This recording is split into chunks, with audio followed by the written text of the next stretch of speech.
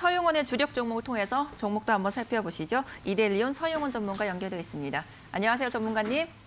네, 안녕하세요. 네, 오늘 어떤 종목 살펴보면 좋을까요? 네, 오늘 제가 관심 있게 보는 종목은 첫 번째로는 지난주에 이어서 현대건설 좀 관심 있게 보고 있고요.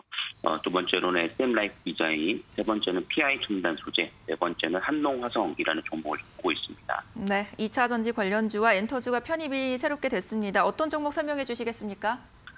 네, 우선은 한농화성에 대해서 먼저 좀 설명을 해볼 수 있을 것 같은데요. 한농화성은 섹터별로는 화학주로서 좀 형성이 되어 있는 종목인데, 어, 뭐 앵커님께서 말씀하신 대로 좀 2차 전지 관련된 배터리 관련된 소재 종목이다라고 좀 보실 수가 있겠습니다.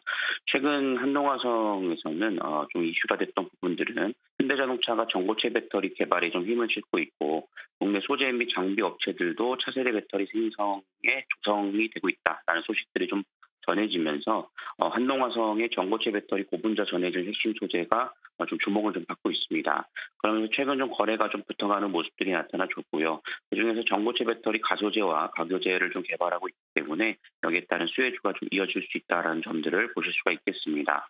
어, 리튬 배터리에서 이제 전고체 배터리로 좀 전환되는 시기에서 지금 현재 좀 현대자동차에서 직접 개발하겠다는 소식들이 좀 전해졌고 거기에 따라 주가도 최근에 좀 상승하는 모습들을 좀 보여줬다라는 점을 볼 수 있을 텐데요. 전일 조금 눌림목 자리가 좀 나오는 모습들을 보였습니다. 하지만 조정권 자리를 이용해서 좀 분할 매수 관점으로 좀 진행해 보신다라면 여전히 좀 상승 여력으로 매력적인 종목이다라고 좀 살펴보실 수 있을 것 같고요.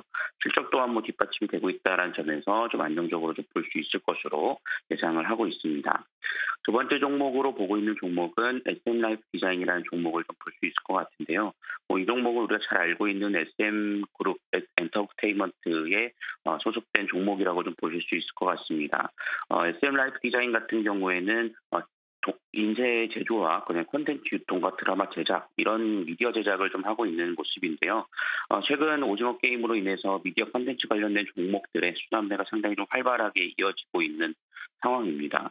어, 디즈니 플러스 관련된 종목으로서도 최근에 좀 나오고 있는 상황이고 11월 달에 한국에 디즈니 플러스가 출시되면서 어, 우리나라 미디어 콘텐츠 관련된 종목들의 순환매들은 계속해서 이어질 수 있을 것으로 예상을 하고 있는 상황입니다. 그리고 SM 엔터테인먼트 같은 경우에는 최근에 좀 매각 이슈도 있기 때문에 현재 가격적인 메리트에서는 좀 단발성 시세로서는 충분히 좀 매력적인 종목이다라는 점들을 보신다라면 어, 오늘 SM 라이프 디자인 관심 있게 좀 살펴보시면 좋을 것 같습니다. 네, 오늘 말씀도 잘 들었습니다. 네, 감사합니다.